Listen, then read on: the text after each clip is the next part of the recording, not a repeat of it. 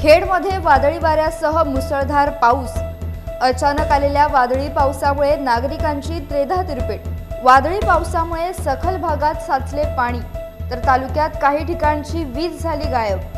रत्नागिरी जिल्ह्यातल्या खेडमध्ये आज घटस्थापनेच्या पहिल्याच दिवशी सायंकाळी पाच वाजण्याच्या सुमारास अचानक आकाशात काळे ढग दाटून आले. सकाळपासूनच वातावरण ढगाळ असल्याचं पाहायला मिळत होतं. मात्र सायंकाळी पाच वाजण्याच्या सुमारास अचानक वादळी वारा सुरू झाला आणि त्यातच मुसळधार पाऊस सुरू झाला. आज नवरात्रोत्सवाचा पहिला दिवस असल्याने अनेक ठिकाणी दांड्या उत्सवासाठी तयार करण्यात आलेल्या कमानींवरील फलक देखील त्या वादळी पावसामुळे अस्ताव्यस्त झाले.